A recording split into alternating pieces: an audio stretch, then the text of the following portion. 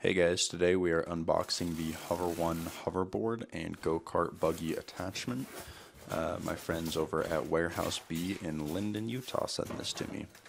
Pulling the hoverboard out of the box and we're going to go ahead and open the second box. Put our knife somewhere safe and pull out all the parts.